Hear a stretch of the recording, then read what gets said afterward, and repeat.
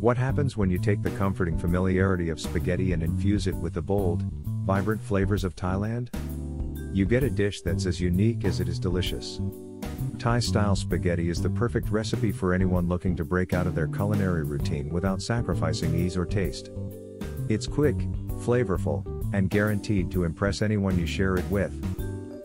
This recipe serves four people and brings a delightful twist to traditional pasta night. Let's dive into this fusion feast. Ingredients.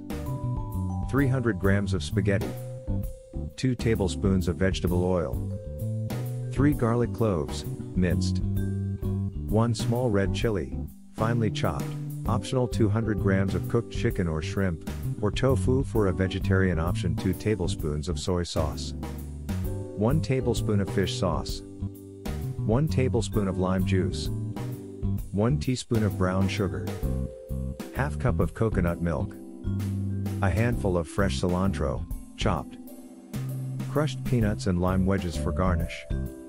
Preparation Cook the spaghetti in salted water according to the package instructions. Drain and set aside. Heat the vegetable oil in a large pan over medium heat.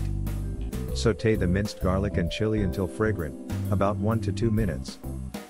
Add your protein of choice, chicken, shrimp, or tofu, and stir fry until heated through.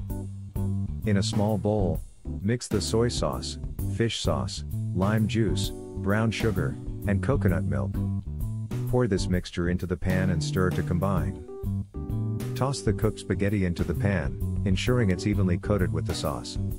Let it simmer for 2 to 3 minutes. Remove from heat, sprinkle with chopped cilantro, and garnish with crushed peanuts and lime wedges for an extra pop of flavor.